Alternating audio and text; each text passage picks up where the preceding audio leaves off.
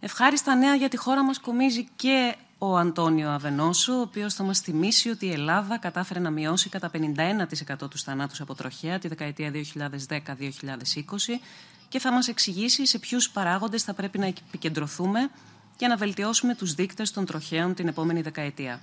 Ο εκτελεστικός διευθυντής του Ευρωπαϊκού Συμβουλίου Ασφαλείας Μεταφορών, European Transport Safety Council, ETSC, ο κύριος Αβένσο, έχει το λόγο.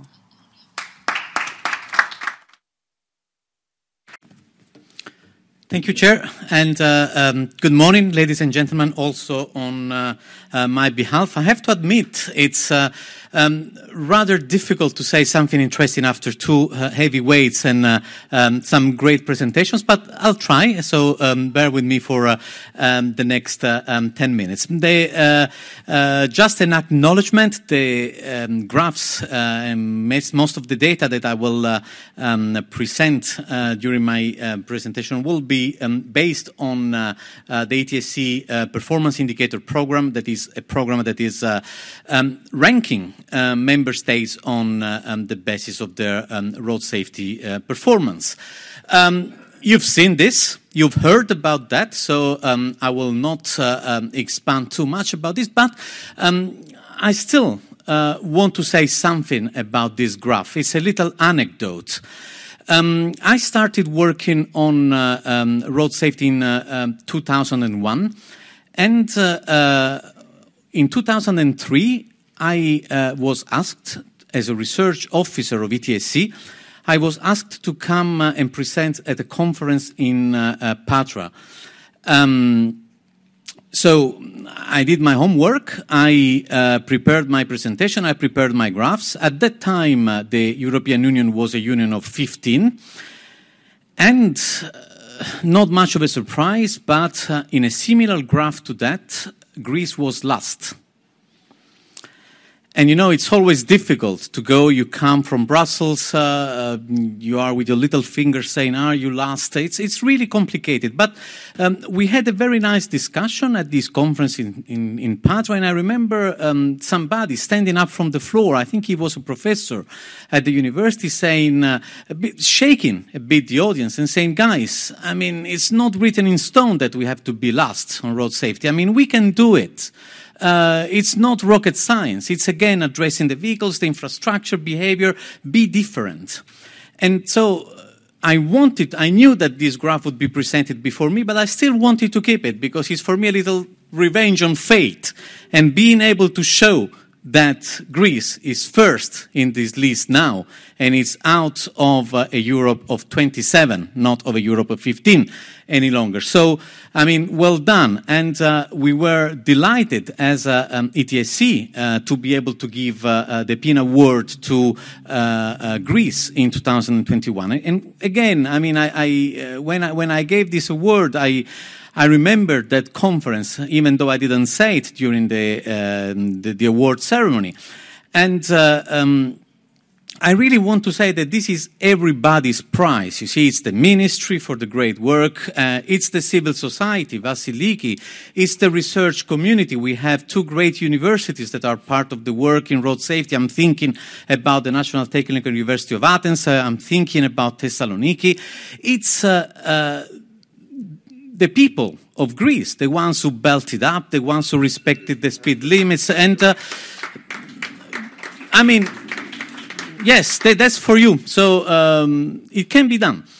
And uh, uh, these are some of the reasons that have been mentioned. Of course, achieving the target, but also um, the implementation of city mobility and safety plans uh, focusing on infrastructure, how important it is to reduce that 70% figures that is uh, uh, uh, um, concerning the deaths of uh, uh, valuable road users in uh, um, urban areas, the extension of the motorway network, but also the commitment that we now want to see transformed into action of adopting um, 30k in um, urban um, in urban areas.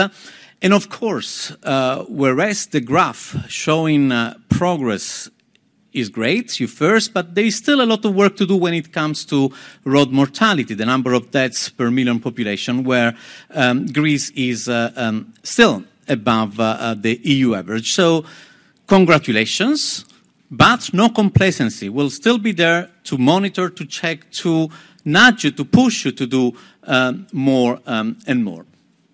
Now, moving back to a wider um, uh, outlook on uh, um, road safety, um, what can be done at European level? What is the uh, future, what, what we expect as the European Transport Safety Council for uh, um, road safety in uh, the years to come. And uh, the rest of the presentation will contain some recommendations that are not only addressed to um, the European Commission, the European Parliament, but also to member states, in some cases to um, the local authorities. First, speed is of the essence. For the first time, I want to say speed is good. Of course, not speed of vehicles, but speed of action. Um, a decade goes very quickly. If we need to reduce by half the number of deaths and serious injuries on European roads, action needs to be taken already now. Otherwise, then it's too late and we will not see the results already in uh, um, 2030 great not to lose sight of uh, um, the targets, the death target and the serious injury target, and uh, um, KPIs, yes, fantastic. I mean, uh, uh, this is uh, one of the things we've been advocating for a while, so I'm glad that uh, um, the European Commission and the member states are now working on KPIs, which uh, we hope will receive data and cooperation from member states as much as possible. And maybe, who knows, we could uh, also be able to enlarge the number of KPIs to have more. And the Road Safety Agency has been mentioned, and we do need one, especially on technical issues. Think about what is happening with uh, the move more and more uh, sustained towards uh, uh, automated and autonomous driving. We need accident investigation. We need to know the, the reasons for the collisions in order to be able to treat them well. So um, an agency, a fully fledged agency would be um, extremely um, important. Um, vehicle safety um, great about the general safety regulation. Um, even though for some of the technologies which were um, included in uh, uh, the uh, legislation, we would have expected maybe um, to have some stronger versions of them, to put it mildly. Um, but the time is not over for legislation. There is still I mean, uh, need to continue legislate on vehicle aspects and uh, um, to make sure that the cars become as safe as uh, um, possible. And uh, the general safety regulation, which is a great piece of legislation, keep, needs to be um, monitored in uh, its uh, implementation and to be updated as soon as possible. Let's think, for example, about uh, intelligent speed assistance. At the moment, uh, uh, it is still overridable. It can be turned off for the whole journey. Uh, the kind of feedback that the driver receives is not ideal and sometimes can make it annoying, leading the driver to switch it off. So it's important that we see how this gets deployed so that we can think about revising it towards a stricter version. Event data recorders. Because of a problem in the implementation and in the text actually of the legislation itself, uh, at the moment uh, we cannot have uh, data on the time, the place, and uh, uh, um, the, the, the, um, the day of the collision, which basically makes the instrument not really useful because event data recorders are uh, especially um, useful when, it, when you can record these data and then you can learn from the collision and uh, um, you can improve. Um, I would say most of the decisions uh, on uh, some aspects of vehicle safety happen in uh, um, Geneva at the UNECE level, for which we would love to have uh, a greater involvement of the um, European institutions. Um, there is transparency, but we feel we would need a more democratic oversight of uh, uh, uh what happens.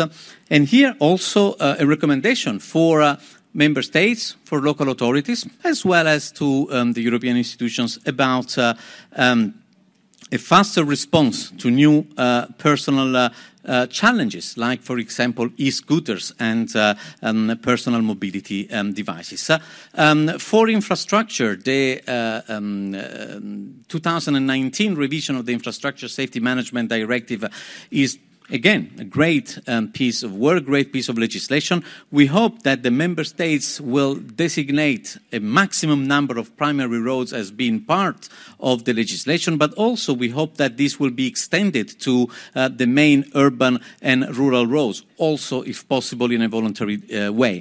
And for local authorities, we've been seeing a flourishing of uh, infrastructure to allow uh, um, pedestrians, cyclists to uh, navigate the new cities, less use of, of uh, sometimes public transport, less use of uh, uh, own vehicle, and more use of uh, walking and um, cycling, and better infrastructure. So we hope that this will be maintained and um, enhanced. For behavior, we will never stop calling for a speed limit recommendation for all roads, and uh, we believe with speed being the main contributory factor to road deaths, this would be fundamental and extremely important. So we are indeed uh, um, disappointed by uh, the response the Commissioner gave in uh, um, the Parliament, saying that uh, this is not yet on uh, um, the agenda.